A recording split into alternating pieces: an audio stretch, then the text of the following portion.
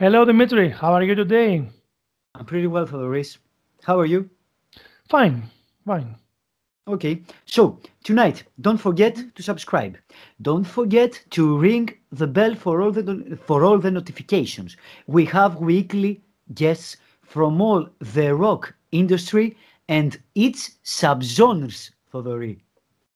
Tonight with us, Yes. tonight with us, the singer and guitar player of the band The Dear Hunter, Mr. Casey Crescenzo.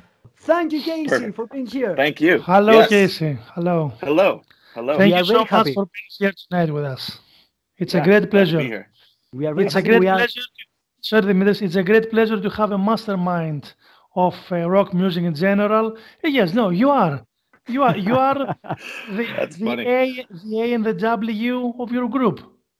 Well, I I appreciate that. I appreciate yeah. that. I That's true. definitely I don't want to dis- discredit any of my my band members Yeah, or the people sure, I've had sure. luck with. They it's I I didn't really even know like chord names before I started playing with other people. So like all of my th- yeah all of my theoretical knowledge of anything and my comfort of anything that r- edges into theory, you know, um, Yeah. is purely based on my experiences with other musicians and especially the guys who are in my band now and still even now um, learning new things from them. So I appreciate that very much. But I'm very lucky to be surrounded by such talented people who are also willing to be part of conceptual projects that they do or don't necessarily Yeah. care about the concept of. But yeah, I've been very lucky. So I appreciate that very much. Your orchestrations are uh, very difficult to be played. So Mm. you have to have a great band to do it. yeah, it's true. That's it's true. true. Yeah, yeah, yeah, yeah. Thank so And let's as begin. we are, Yeah, sorry, Theodoris. Dimitris, and as we are talking about bands, we will start tonight's show with your favorite top five albums. And uh, it would be very nice for us if you can uh, put the albums in a specific row. If not, okay, that's not an issue. I think that bec- just due to the way that I have, I guess, experienced music in my life, the the best way for me to rate albums for myself is the big ones that came in and had a huge influence at me at a point in time and set me down specific paths. So um, I think if I'm working completely backwards, I would say that the last band's album that had a huge influence on me would probably be the band Elbow and their record The Seldom Seen, Seen Kid, which I think is like from 2009. Yeah, But yeah, I didn't hear it. I didn't hear it for a while. Uh, and my bandmate Rob showed it to me. Oh, that's that shouldn't be happening. Sorry about that. No, no, I, ne- no I never do. I never talk to people, so this is like what what is the right etiquette? Um, there we go. There's the air. There's the air. Don't worry. Um, Yeah. But but that one really uh like there is something about that record that felt very progressive in the way that it it reminded me a lot of like uh i guess of you know peter gabriel and Yeah. some of the music that was progressive from the 70s that edged out and then like that crossover of progressive and pop but that was the last record that really i think had a profound effect on me. But and then if I'm working backwards, I'm trying to think. Mhm. So I would put that as like number five, as Okay, the number okay. five Elbow. influential record. Uh, number four, I'm trying to think. You know, when I was first playing with the band I was in before the Dear Hunter, which was called The Receiving End of Sirens, and that was like my first real introduction to heavier music in general. Like, I guess the you know like hardcore.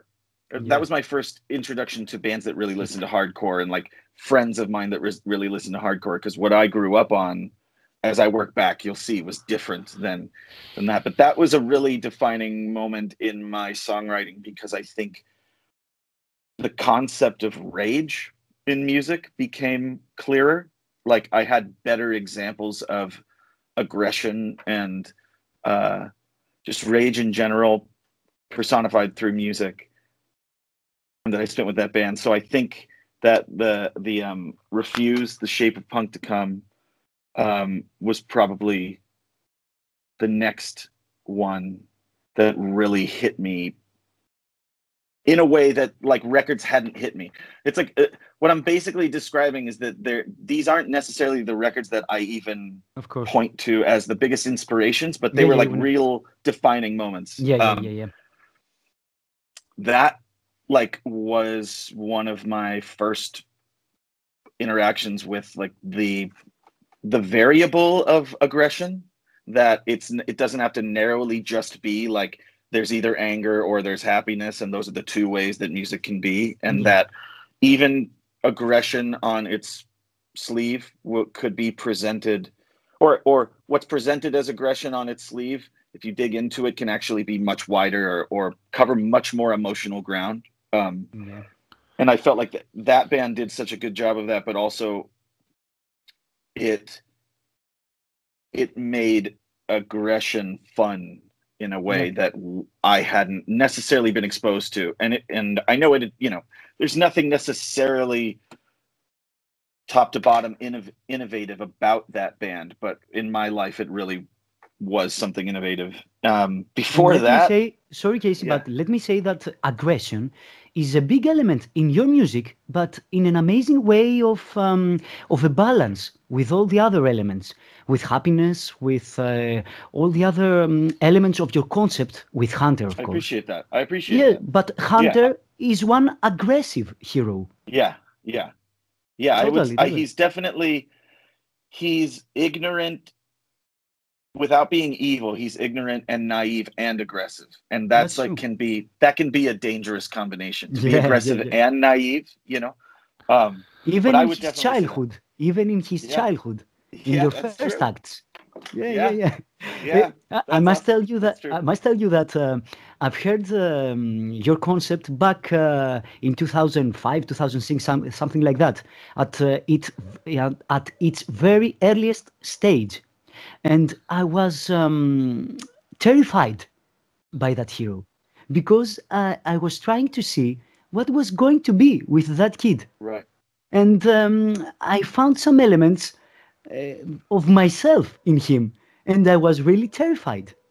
And that's something amazing uh, that connected me with Do you music. mean what was the part of it that was ter- was the part of it terrifying that you felt you felt relatable to this character, but you also saw the potential for darkness in that character, so it Yeah, makes yeah, you wonder. yeah. like- the way the yeah, way that, that- uh, he has lived the loss, especially the loss of his. Mm-hmm. people, the loss, the sentimental loss, and uh, the physical loss of some people of his uh, environment. Mhm. And the way he interacted with that sentiment was something very dark. And uh, I think that that's yeah, yeah, you know, I think specifically when it comes to loss, I'm probably I am probably injecting more than in any other facet in the story, even more than the romantic facets of the story. I think the fear of loss and the fear of death and the sort of things that those those feelings can conjure in you when they are so present, when those fears are so present. Um, I think that that is such a strong has such a strong effect on me that it's probably it, translating into that character a lot. That's probably one of the Yeah. things that I grafted on is this almost like almost like a chicken with its head cut off running away from death. Like that's kind Yeah. of what it feels like. It's Yeah, like, well, you kind of already dead, but um not not that defeatist. That sounds really really dark. I don't mean it that dark, but there is that is a huge problem I have emotionally and just metaphysically yeah, if that's even a thing overcoming or approaching is I- I feel like I hear a lot of people talk about how okay they are with death and like yeah you know when you die you die. Hmm. And it's so hard for me to get to that place that I just keep on exploring that in almost every project that I think of it's it's built into it in some way and it's And- definitely a huge part of him I mean he's at times literally running from very obvious um you know metaphors for death and Yeah, and- and the most uh, terrifying and the most terrifying thing is that your concept is um, a literature one, but uh, real thing, not a sci-fi one, like other Right. bands. So Right. it makes the hero so real for us, and his sentiments so real for us. I appreciate that. I think I I think that I never I didn't think about it while I was writing it or go or approaching it in general. Um I didn't think like, okay, I'm going to do a concept record, but it's not going to be about what concept records usually are. I think that I I don't know. I don't even know how to ex- explain it. It didn't seem and it still doesn't seem like it's necessarily too different because there's still there's some records like what is there is it SF Sorrow um the pretty things do you um Uh, You we know know, the record? band. Yeah, Yeah, we yeah, know we the know band. one. I, But- I think it's SF Sorrow or I forget exactly which one it is but somebody told me long after I had like committed myself to what this story would be like Yeah. I think it was actually one of my band members at the time he showed me that record and, or showed me pretty things and I really liked it. And then he showed me that record and I dove into the story and it was similar to the story that I was Wow. writing but only 50 years earlier. And it was you know and I think there's archetypical things that a lot of people will like uh you know I think it's funny that I'm saying this because the current thing I'm working on is science fiction like Oh, the yeah, the yeah, current project that. I am working on is science fiction. We'll talk but- about that later. Yeah, yeah. But the goal is always to make it the that's just a backdrop i guess that's what the end what it comes down to is like if you make the heart of your story something that that is sci-fi it's not relatable but if you make the heart of your story something that's just a regular human emotion or something that you can graft onto anything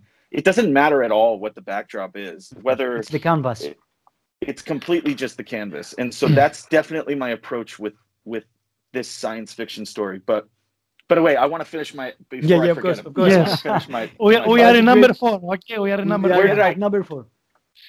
i was at so wait i did i did four? elbow i did yeah i think i'm at number three because i did Yeah, yeah. elbow and No, then no, the going shape to of number punk to come Sorry, in number in number four, what was the title of the album you you picked? i think it's i believe it's the refused and the record is called the shape of punk to come i'm going to be really really embarrassed if that's not the case the shape of And I have one question after that.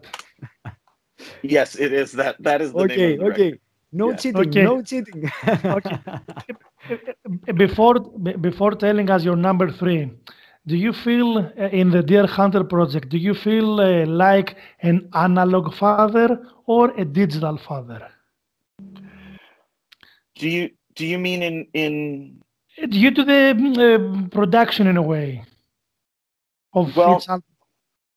I would Are- say that Are you making analog productions or digital ones?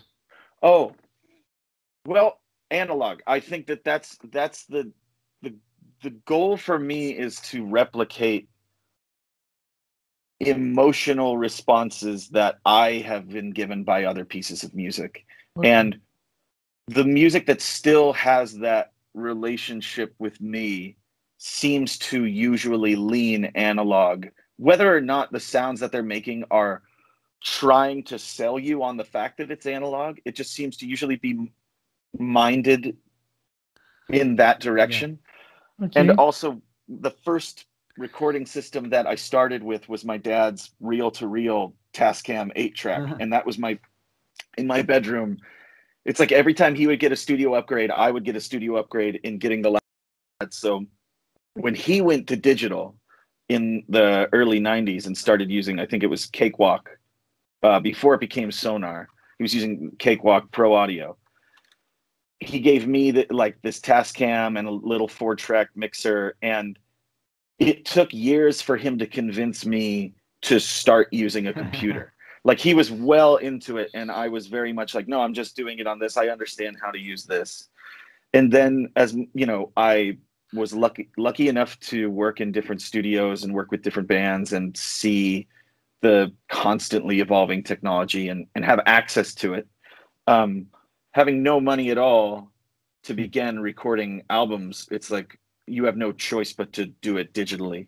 And some of the yeah, of course. Some of the first stuff I was doing, the the like Act One and Act Two, the the hardware on both of those records is so so bad. The hardware that I had access to was just so bad. Um, but I don't know. I don't know if I can make a differentiation. I can say that e- with even things like software instruments, I every if there's ever an opportunity to not use them and to have a human being play something, that's It's always always, the direction I'm going to go in Of course. and and it will feel and i think that would if i had to pick one that feels analog that feels analog but maybe i'm not understanding the question fully No, No, okay, okay, it's totally understood. So let's go back to the top five. So After this is- that, uh, we are yeah. number three. Yeah, yeah. i think i think that the the the uh i think record number three I, I think I should just just say it, even though it's it's a little bit of a guilty pleasure. But We like it's not it. that guilty of a pleasure. It's only a bit of a guilty pleasure because it doesn't.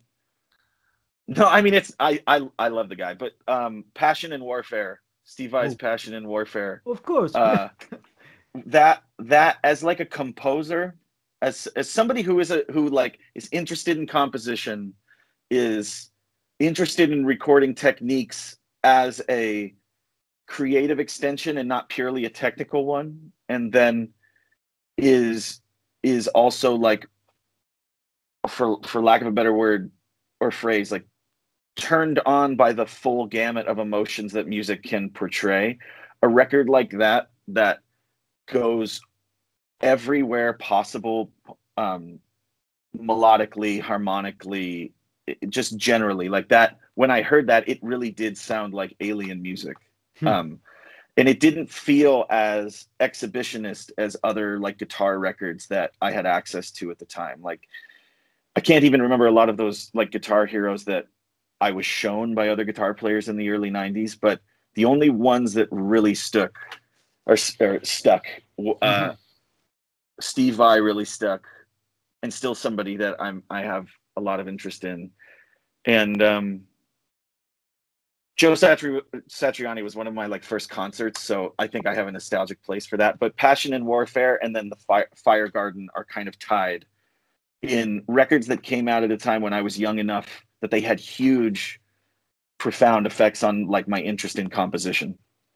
Okay. Um, before that, or or just just around that same time as a singer, um, at the, around the same time that I heard it, I became uh, or heard Steve Vai. I also started listening to Bjork, Yeah. and the the production side of things that she had going on in her music and the way that every record um even though there was this very clear thumbprint that she was putting on her music that you can always tell it's Bjork obviously because of her voice but um every record had something about it that was handled completely differently. And you could tell that um even the the concept of making an album not not a conceptual album but the idea of going to make an album would be treated could be treated creatively from before you even start writing it. And and not to necessarily have a story but before you even start writing the record to kind of like wrap your head around what are the things on this record that I want to do differently what are the things I didn't do well on the last one what are the elements about it that I could be more proud of this time? Like all of those questions seem to be something that I could hear Bjork asking herself, conquering, and then improving upon every time I would hear a new record. Um, and so I think the one that really hit me was Vespertine. Um, that record really, really hit me. Um, but I, the the record that had I I would say the most effect on me entirely in my entire life yeah, yeah. is Number one. so number the, one. the the number one and it's tough because it's really tied three ways from the same artist from the same artist but if I had to choose the one of them it would be uh it would be the uh I think I think Axis Bold as Love Jimi Hendrix's Axis Bold as Love Hmm. um I th- uh, when when I was like eight years old and I really started playing guitar for the first like time in my life, uh, taking on a hobby and it being obvious that it was more than a hobby and I was spending a lot of time doing it and sitting in my room and just like enamored with every new thing I could learn. My dad brought home two CDs and he showed them to me and he I didn't know what either of them were, but he showed me the cover for Are You Experienced? Then he showed me the cover for Flying in a Blue Dream. Um, and he was like, just pick one of these and Hmm. go off and listen to it. And I was like, that Are You Experienced cover looks crazy. I'm Yeah, gonna take that. I'm gonna go in my room. And then from the age of eight to 13, I did not listen to another artist other than Jimi Hendrix. Like I, I got all of his studio albums, all of the weird bootleg studio albums, every single live performance I could get. And this was when all you had were CDs and bootlegs and all of that. So I think he only had three official studio albums, like actual yeah, official released studio albums. I had something like 36 CDs of Jimi Hendrix. And they weren't like different versions of Bold as Love and Are You Experienced? yeah. They are um why can't I remember the third one? The or the it was it the first one that came out? Axis Bold as Love, Are You Experienced? What is that other record called? Cheat, cheat. Thodori, cheat. Yes, I yes, don't want to yes. cheat. I don't want to cheat. I shouldn't cheat. No, no, Thodori I, I will. will. I I know will. this. Don't worry. okay, good, good. It's uh uh but but yeah, those uh I I had I had those three records and then Yeah. just a slew of other things like Crash Landing was one of these or Voodoo Soup. They like the the Hendrix Hendrix Estate always does these like re-releases and in the 90s was a really good time for unearthing and digitizing tapes, you know? So so he was like my guitar teacher Hmm. growing up. Like I would sit in my room. I didn't have a guitar teacher. I would just sit in my room with my guitar and his CD playing. Didn't matter which CD. And I would just sit and learn everything about the way he was Wow. playing his parts and where the bends were happening, like the the general way he approached his Yeah. guitar, where his hands like sat. I would watch videos. I just I was so obsessed that for my fourth my fourth grade class assembly, like year four, I dressed up as a hippie with with headbands and everything, brought my guitar to school and played the Star Spangled Banner well, and th- did some of it with my teeth. And I was Woodstock maybe like time, yeah. I was like nine years old. I was it was probably horrible, but I was like nine years old. Um, like I I recorded a bunch of covers trying to sing like Jimi Hendrix when I was you know twelve or thirteen, which is really funny to hear. Uh, but also his like there's these artists like that where they give you a really good doorway. There's always Yeah. this really good doorway, and for someone like Steve Vai, the doorway is that this is someone who can play guitar in a way that's very unique and also very technically proficient. But that's just the doorway and then if you're interested in everything else that an artist has to offer, you get you get to pick all of these wonderful gems out of the full I guess breadth of what it is that they are actually interested Yeah. in. Like Steve Vai isn't just interested in, in how fast his fingers move No, no, no. he's very much interested in you The know song. the the song and the symphonic experience of a listener and that started to become clear to me as i was listening to jimi hendrix and you know hearing what he had access to at the time and the soundscapes he would make for you to listen to um, that felt so unique and completely from him entirely from him. They weren't like this they weren't this mimicry of something else going on at the time. And even when they were when it was covering a song like all along the watchtower it was representing this raw material in such a drastically different way for the listener that the experience i mean i think i read somewhere that bob dylan started playing it in that style because it was like yeah. that's really the way it should be yeah. but that that that was Jimi Hendrix is the most profound artist impact on my life for sure. I think that I think that the national hymn of America should be played as Jimi played it. Yes, yes. Oh, it's so, it'd be much better than a, like a flute, just a single flute or somebody yelling it. It's so much. There's so much emotion. Reality. Yeah. Yes, it, it's yeah. It's a very therapeutic version of that. Uh, that piece of music.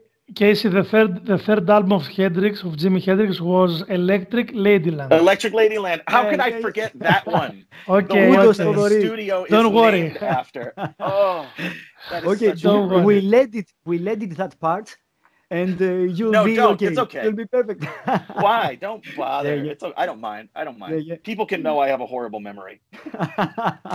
and how can you remember all those notes, all those orchestrations? it's amazing. Maybe I'm like an idiot savant. Maybe I can't remember anything other than notes. Oh, I'm not good No. at lyrics. I'm not No, very good at lyrics. Th- This is why I called you Mastermind. This is why. music mind. Oh, yes. so let's go to the second part, another Okay. difficult one, which is about your top five singers. Okay, yeah, it's very different list. Very Yeah, different yeah, list. of course. Um, let's see. I'm trying to think of where I should start. Well, the first, like the the first stuff that I was listening to, really was was like when when I was a little kid. My mom would put on the oldies station in the car, and she would always sing along to it and always sing harmony to it. So the first stuff that really got me was like doo wop and and uh, oldies, but because she was such a big Beatles fan, the first vocalist that really I think had an effect on me, and I decided early on that that he was my favorite Beatle was Paul, and Paul. just his voice, and she would like hearing him sing, hearing her sing along to it. That just was like I don't know. It was the first voice I really, really took note of. Um, so that would be like five. I think that would be number five. Um, And that's just why. because just because it wasn't it's not something i necessarily emulate it's not something i necessarily point to as like that's what a singer should be but it was the first time that in the context of just music and it was the it was like the early beatles stuff like really poppy i want to hold your hand stuff but that was the first voice that really i i glommed onto and and still like gives me almost similar to uh like listening to his voice is similar to listening to like my mom sing Yeah. a lullaby or something like that. Hmm. Um, but then let's see, the next one I think would be Brandon Boyd from uh, from Incubus.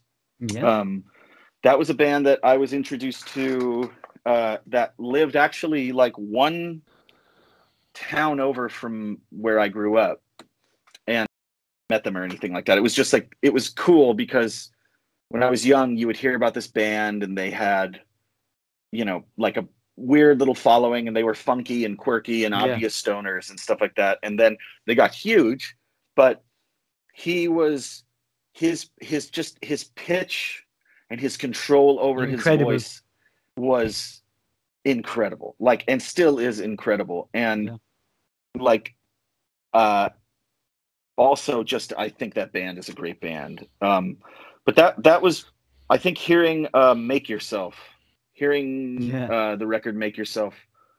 Everything before that was really cool too, but that was the first one where I it was like his voice was at optimal power.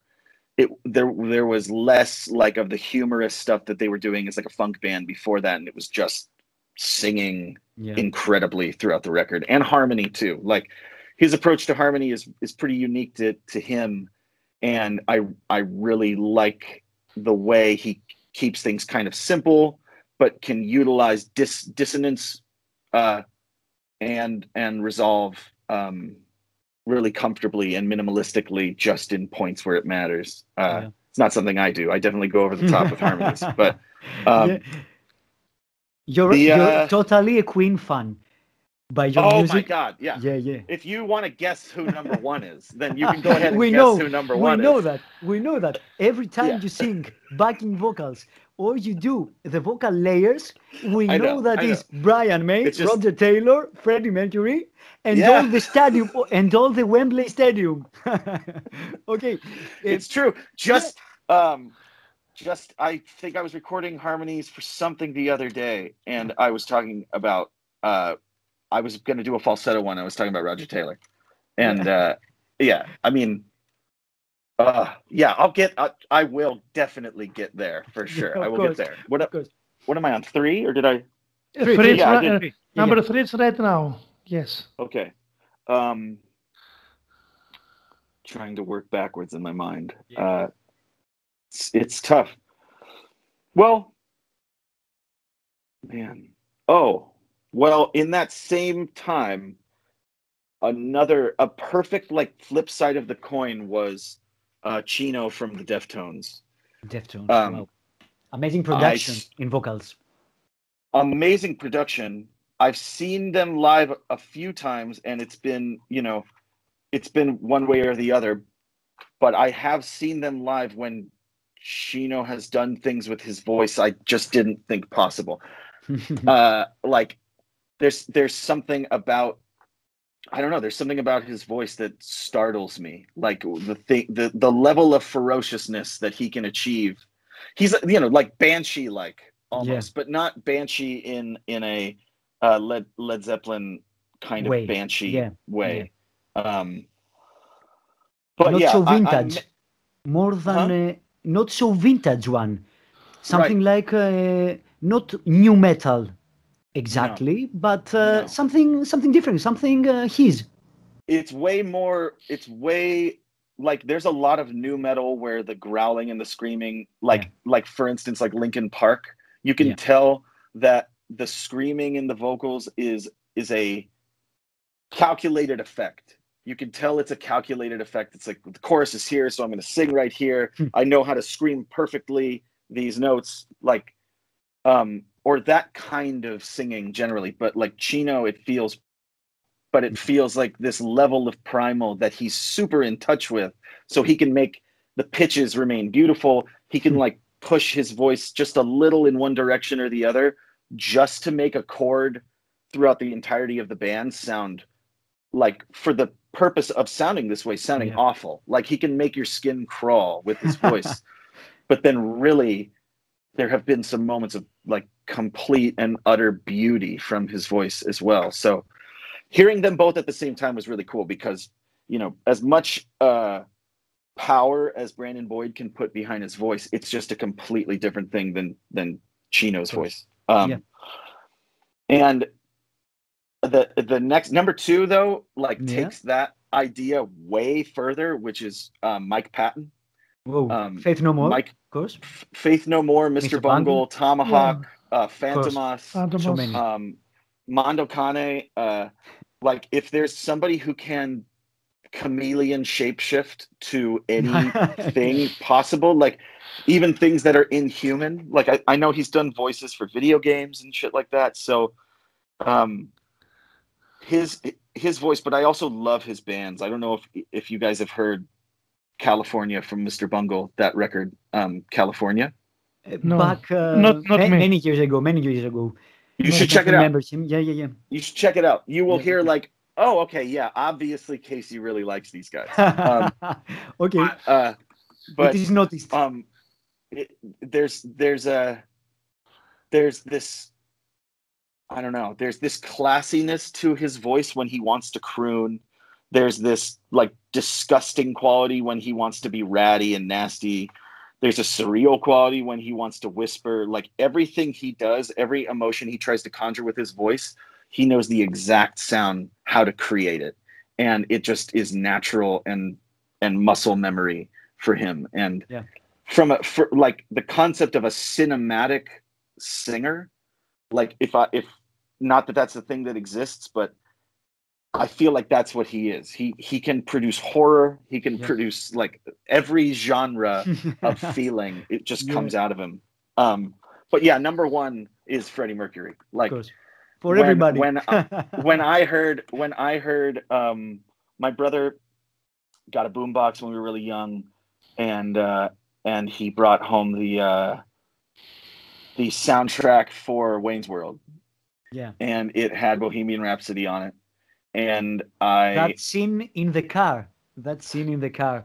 it's Yeah. it's like the, the scene for so many people. Like it's Yeah. just you know because my parents were huge into into jazz fusion. Like rock of the 70s and 80s and 90s and actually well rock after 1969 basically just was irrelevant to them Yeah. the yeah, thing yeah. that they really got into was fusion and uh, jazz and bands you know they but even in the 60s like they they were the king crimson fans they they weren't like the beatles they were fans of because everyone was beatles but both of them were way more into outer uh, outlier music um expanding the So-.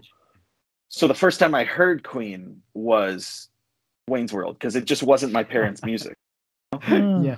and when i when i heard his voice i'm sure it was it's the same for everybody it's almost like it like it makes the hair on your neck stand up it it feels like something you have you already have heard a thousand times but you've never heard before and you're just Yeah. like there's something that i'm i'm like th- that's one of those voices i'm just grateful to have been exposed to and to be alive at the same time to hear it.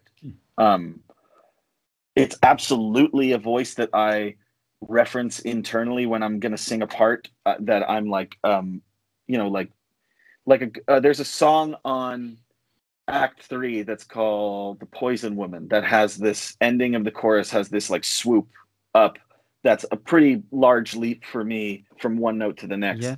and i was i was tracking it and tracking it and tracking it and i just was not able to do this pitch jump the only way i was able to do it was just by mimicking freddie mercury as Yeah, best yeah. as i could it was like it was even down to the physicality of his whole like like like ball your fist and flex like and then the second i did that it was like oh there it is and even Yeah. it's little moments like that it's just like he knew something about his own body that i just don't know about mine so anything i can i can learn from him is great um you have to yeah, wear like- a white T-shirt to do it.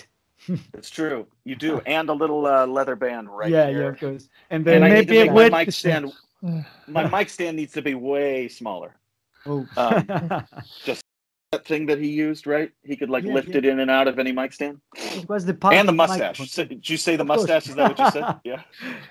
You are almost there. You are almost there. I am. okay, So, Casey. Now, sorry for the Ah, sorry, sorry. So- yes. It's totally obvious in your music that you like Freddie Mercury and you like uh, Oh, yeah. the vocal uh, layers. Um, Yes. Big the time. first, like the first thing I was introduced uh, by you, it's the vocal layers of Dear Hunter. That is something amazing. Uh, you must thank- do thank you, so many you. tracks, so many tracks in your vocals. yeah, a lot of tracks. A lot yeah, of tracks. I know that. I know that. You do that uh, wall of sound all over the place. Uh, and I think that uh, the most backing vocals are yours. Am I wrong on that? Yeah. The um. I mean. Yeah, I would say even on the songs where I bring my mother in and um, Tivoli, my girlfriend. I should call her. I, I wanted to call her my wife because she's my son's mother, and we Yeah. base we we live together. We consider ourselves married, but we haven't actually gone through that. Um, Your but woman. essentially, my wife. Uh, Yes. um, even when I bring them in to sing on it, I find that I am still singing probably, even in that scenario, 50% of the background vocals. Yeah. Because a lot of it, a lot of the ideas also happen generally around my range. Like a lot of them are beneath my vocal just to kind of pad or provide some foundation.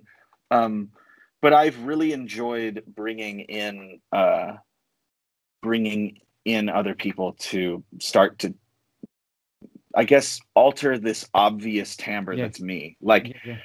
I don't do it because it's like uh, I want people to hear a thousand me's. If I had access to a choir, for some reason, if my studio just had a live-in choir of Really? super different vocals, I would I would want to bring them in.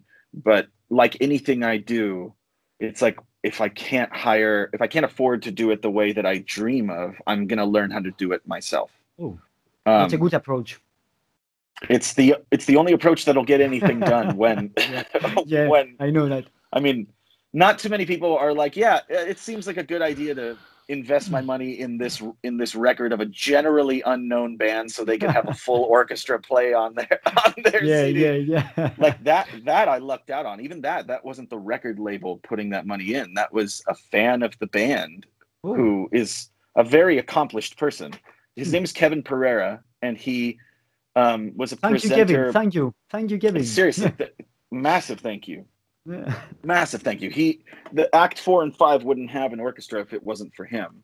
And on top of that, too, like if it wasn't for him, if it wasn't for this orchestra being willing to do this record that they hadn't really done something like it in the past, and they like, you know, I guess for lack of a more eloquent way to put it and not sound like it's purely financial, like they they cut me an amazing deal to be able to work with their orchestra and because of their orchestra, the connection they had with the studio in Berkeley, California, allowed me to work in a historic studio Hmm. that I never would have been able to work at. Like yeah. it's uh I you know, sometimes it does feel like life is a simulation for me because I keep on being given these strange needle in a haystack moments where just by chance this thing that I'm trying to do, which is completely pipe dream esque, happens to happen. And I know when I take a step back, there's nothing I really uh, did objectively to accomplish it. I just really got lucky with the help of a lot of people who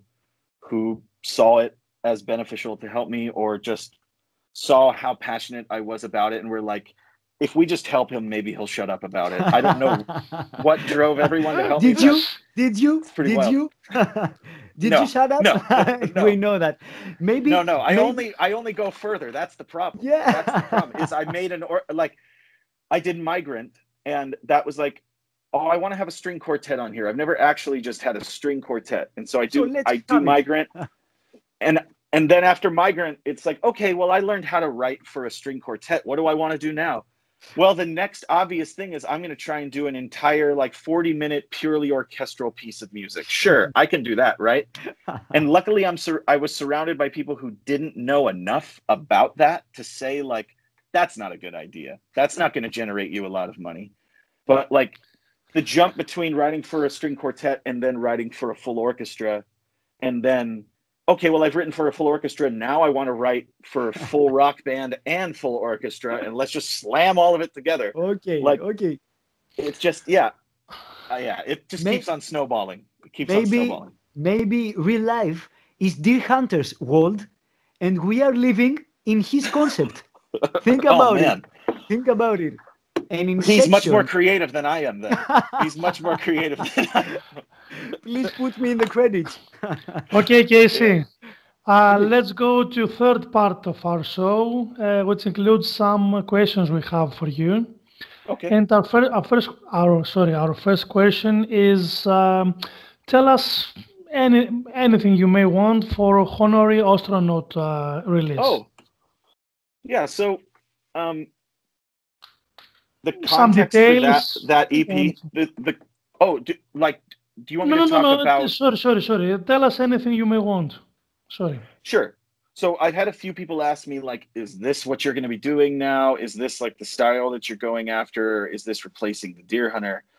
And the, it, no to all of those. Like it, it was just that I've been working on the current Dear Hunter project now since 2017, and it's been going through a lot of different, I guess, eras. If if I can put it that way, like because this project is not just records, because I'm working on things beyond the albums, it's been a really long go of it. And last year or this year, um, we were supposed to release an album. Like I'm sure a ton of people were supposed to release an album. So we had all of these plans, like everybody had plans. And we were working on the record really early this year. And everybody went home for a little break because we don't live in the same town. Everybody flew home for a little break, and then COVID really started, like in the US, or the restrictions really started in the US. And so, uh, one by one, we started to watch all of these things that were really gestating for a very long time fall apart and um, get delayed. And like the best case scenario was that something got delayed a full year. The worst case scenario was that something just got canceled. Cancelled. And I watched one thing after another happen. And, um, you know, like I wasn't going to go online and complain about it or something or, or cry, woe is me. It's like the smartest thing for me to do is to wait until the scenario is right to put out a record so that we can actually promote it the way that a band like ours has to promote a record. We aren't a social media savvy band. Mm-hmm. We're not a hip band like the way that we keep interest in our listeners is by playing for them and by putting records out we have to put a record out and then we have to promote it and we have to tour on it and that's just the way we are supposed to do our records. So once it became clear like hey you're not going to be able to do any of the promotion for this record it was like okay well then we should wait to release it until we can.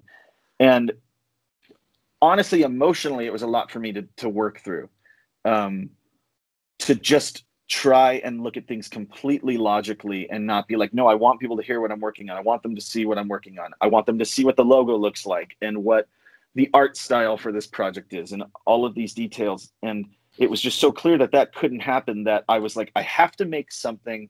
I have to prove to myself that I'm still capable of making music at all and releasing it and finishing a project was something that it was just like, I have to finish a project. Something has to be done. So I had some songs that I had kicking around for a little while that I was thinking I'll just re-record these songs. And no one's heard them. They're just demos. I'll re-record them and I'll put that out as myself because it wouldn't make sense for me to interrupt this like waiting pattern of the dear hunter and say hey I've got these songs that are kind of like 70s hmm. shimmery prog pop like it's ELO meets Roxy Music. Yeah, yeah. Meets like a, a, a bunch of other shit. Um, it wouldn't make sense for me to say, hey, I know we're headed in this direction. We've been working on this project for a while, but just so we can release something, let's get together, record these songs. So I decidedly did them on my own. Um, worked on them for a while, and I had the name Honorary Astronaut kicking around. And as I was re-recording a couple demos, I started writing music that was just for the project itself. It wasn't like a spare demo. It wasn't a spare idea. It was just new stuff that was coming up.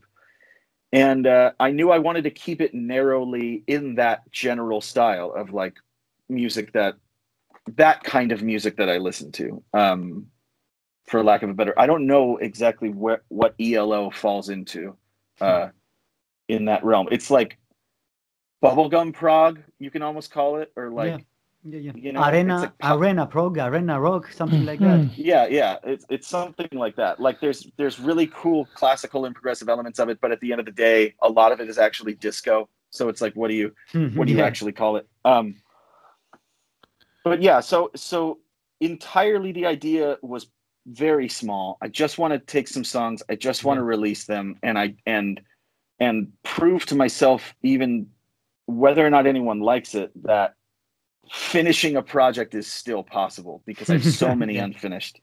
Um, and that was really as far as I thought it. And then the visual aesthetic of it just kind of felt in line with this idea of like someone who's really interested in becoming an astronaut, but the best they can ever do is go to space camp or something like that. And and and that concept like really developed into uh um what I think that music, if I do, when I do more honorary astronaut music, it's very much its heart is centered in the you know humility of a very ambitious person, and those are the things that I want to explore in that, I guess, name. Um, yeah. Because I also feel like that's something that is more comfortable for me to explore on my own necessarily than with a, a band. Yeah, and I had you know, there's three guitar players in my band. Um, I don't really end up writing a lot of the single note guitar parts anymore because I want to open this you know, I want to open the floor up to everyone in my band to be to have ownership over the things that they're playing. So as time goes on, like there's just more and more and more ground that I am opening up for people to be creative and I it works it's working really well for my band and what we're trying to accomplish but for me is just the interest in playing guitar. It's been so long since I've just written guitar parts that I wasn't necessarily thinking if I would step on someone's toes by writing hmm. them. Um, I've already written the rhythm. Do I should I not write the lead? Should I not write this? Um, so removing all of that shit and it's just like i'm in a room i'm alone i've got these ideas let's see where these ideas end up. Yeah. and that's the thing that i'll show people and that that was really it. Um, and it was done in this little vacuum of time between like uh i guess uh workloads for the dear hunter. And uh i also did a music video for it that is not out Yeah. yet. That is Ah, really fucking Another one from the lyric one. It's- oh, Oh, it's really embarrassing. It's it's really uh I should I uh if you if you won't show anyone. I think this will be out on Black Friday, but if you if you guys wouldn't mind not showing anyone, I'll send it to you just so you can not. see of course, of course. just Oh, so you can thank see you. how it's so ridiculous. Of Let me course. see if I can No, no, no. It's very Pull it. special for us. well just, just wait until you see the video. I- be an I it. astronaut. We Um, will sure. see it uh, later on. Yes, of Mhm. course. Yeah. Wait. I let me. Uh, who did I? Well, yeah. I I don't want to interrupt this, but I will send it to you as soon as we're done. Yeah, Um, yeah. yeah, yeah, of just- course, of course. Yeah. And we'll Okay, send the okay. feedback. Yeah. In, Uh, in order, yeah. in order, all the fans not to be jealous of us, we will cut your statement in the editing. No, No, tell them. Let them know. no. Let them know. Let them know Special that we are Yeah. that we are fans that uh, are very happy now. so I don't me- know what you're gonna think of it. It's pretty Okay. funny. let me say, Casey, that um, your choice to have a personal release, solo release of this honorary astronaut is the most wise one because it's an amazing album, but it's Oh, not a thank Dear Hunters one. Yes, yes, I really liked it. I I like your music. I like your way to to do the orchestration. That's why I totally like whatever you do. Uh, I'm not uh, an objective fan. I'm just I a fan. appreciate it. I Okay. it. So let me clear that. But uh, I think that um, I I might be a little bit disappointed if it was the Dear Hunters one. Absolutely, absolutely. It, it, so it's at best for me, at best for me, that music could only fit on a Dear Hunter release, yeah. similar to the color spectrum. Yeah, yeah, Like, yeah.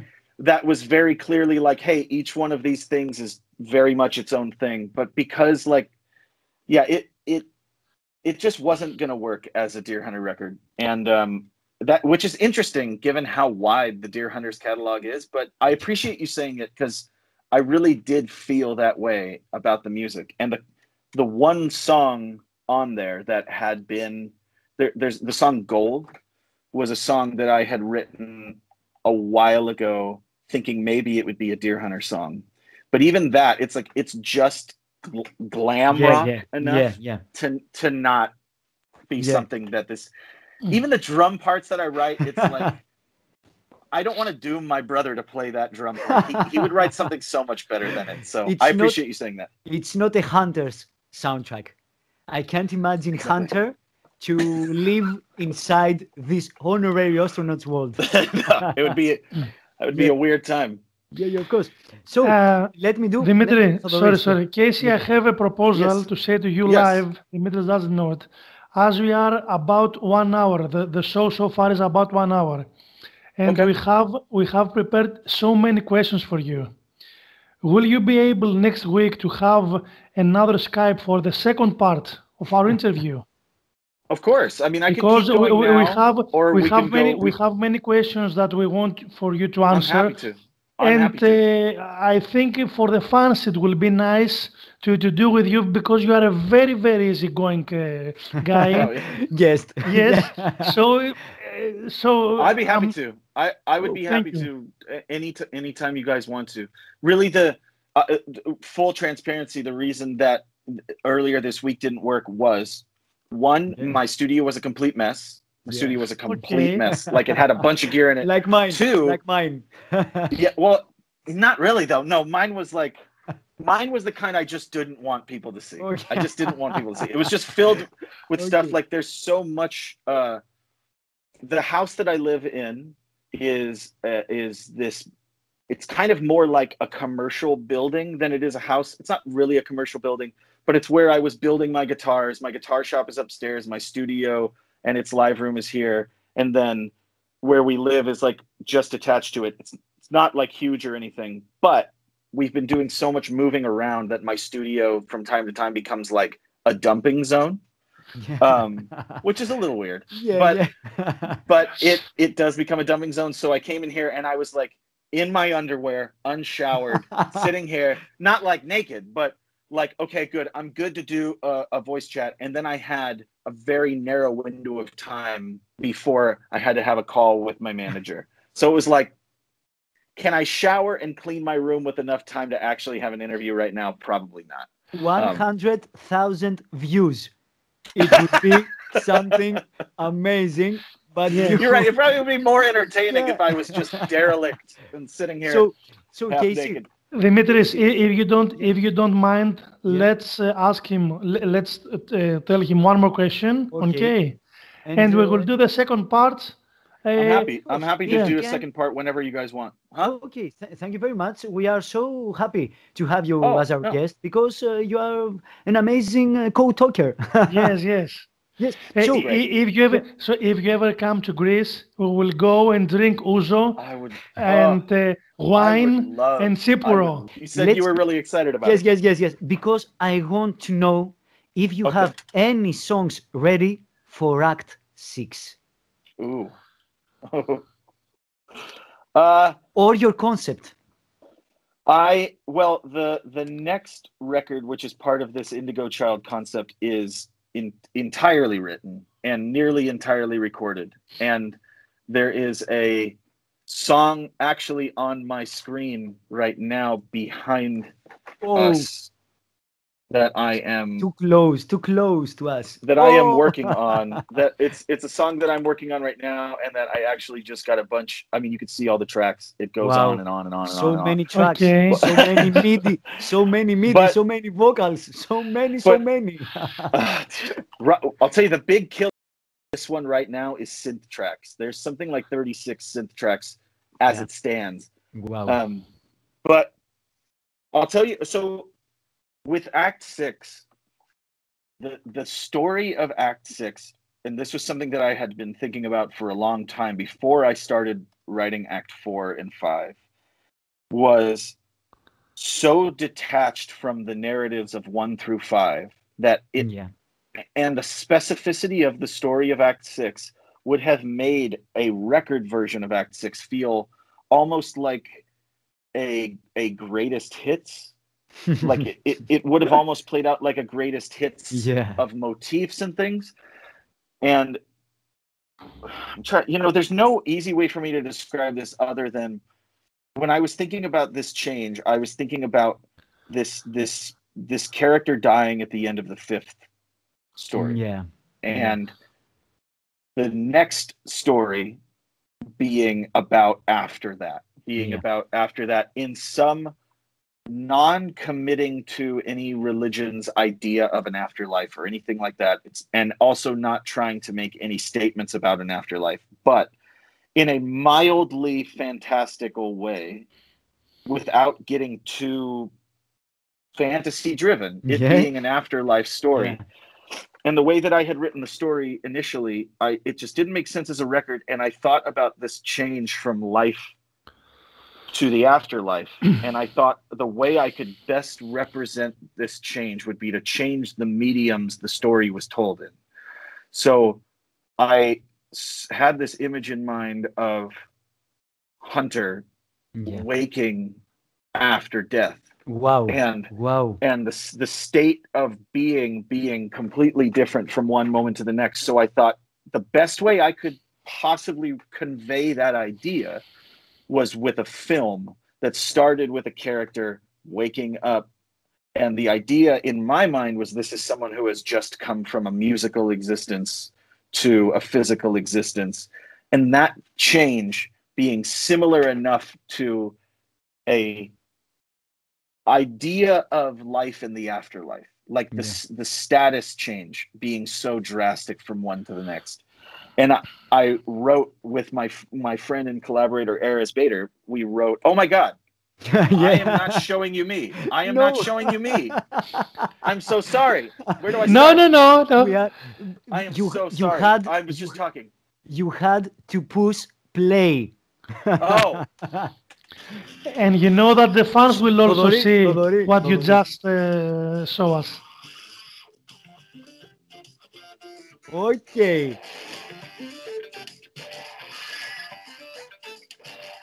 That's totally Dear Hunter.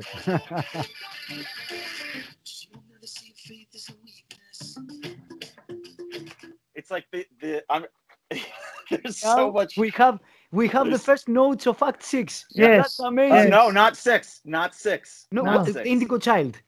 the Indigo Child. The Indigo Um, Child. Yeah, yeah, yeah. So so That's exclusive so- for us. So it is. Yeah. Thank you very but much. you're Thank also you- going to see that you so video. much don't, for that. don't let me forget to send you that No, video. Oh, there's an entire screenplay basically. There's like a 150 page screenplay for Act Six uh, that has been finished for the last few years. We tried pitching it to a few people. We there's a ton of concept art done for it. Like we really worked hard on this, and it's a story that I love, but it's it would be so expensive to film, and to do a a a, re- a record version of it only. I don't know if I could do that without it being just musical redundancies for like 70 or 80 minutes. Wow. Um, that being said, I I don't think I could leave it unfinished. And I think I've got a threshold of time in mind where if it turns out that I can't create it the way I really want to, where the musical component would just be the score, then I think I would reproach the project. I would try not to change the story, but I would try to reproach the project and and think hmm. like, what's the way I can make this record so it's not so redundant. But I got so excited about this current project that I'm hmm. working on that it basically from 2017 it took all of my focus and um I can't like I don't even know where to start with it. I to the to the point where I've written so many pages of lore like Hmm. that no one's ever going to see. No one is ever going to see this stuff. But like Maybe. the maybe maybe I don't know, but We, we can uh, ask your wife. We can ask Yeah. your wife. she knows send- all of it. We, we will send her a secret message. You will never know about it. Let me know. So we will great thing learn is, like, everything. If you did ask her, she would know every answer. She really Yeah, I would. know, I know. eh, eh, yeah yeah. so that's awesome. in part in part two we can have her too. yeah, maybe maybe if she's not too shy, she's pretty shy. Yeah. But we'll Yeah, see okay, if I can no. con- convince her to wander in. Uh, Okay, Casey, Casey, in uh, thank you. sorry Yeah. Dimitris, in uh, in part six of the story, uh, will you have any guests or not? If I make if I make it a record, you're saying Yeah, if yeah. I do. Yeah, yeah, because as it was. I mean, that's um, one option. One option is doing it as sort of some in between kind of media that is is like maybe I can't make a film, but maybe I can do something that's almost more like a play as a record, like a you know an hour and a half, two hour play as a record that dances between Hmm. musical pieces and dialogue and stuff Yeah. like that. But Musical one. I I uh you know I But- didn't I've never Yeah. had many guests, but I I don't see why I would. Thank awesome, you, Casey. guys. Have a great. Thank great you very much. day for you, night Yeah. for us. yes, Sleep well. I'll I'll talk to you guys in a few you days. too. okay. Stay safe, and uh, we'll meet you next week for the second part. Bye bye. Sounds Okay. good. It Take was care, fun. guys. It was fun. Thank you. Bye Bye bye. Bye bye, Casey. Bye bye. So, Dimitris, we had the pleasure tonight to have here with us in our show the singer Mr. Casey Crescenzo. Crescenzo. Crescenzo or Crescenzo. It depends on your Italian pronunciation, Todori. Okay. Okay, Uh, so it was it was a very very easygoing guy. I joined the conversation so much. Uh, according to my opinion, it was one of the best guests we have so far. So, we have a very special surprise for you. Mr. Casey Crescenzo will be here in our show next week as well. Because we have too many questions to ask him about Mhm. Dear Hunter and the whole concept of Mr. Hunter. So, don't forget, subscribe here, ring the bell here, and watch all the other episodes of In the Air Tonight, our weekly broadcast with amazing guests from all the rock industry and its subgenres. So, Todori, And also, sorry, Dimitris, also don't forget to send us any comments for anything you may comment need. here, comment here, Yes. comment here, Anytime. comment here, anytime, anywhere. Okay. So, Todori, until next time, with Casey again, Again, with good night. act- good night, Yes. and see you next Tuesday, as always. Okay. Bye bye. Bye bye.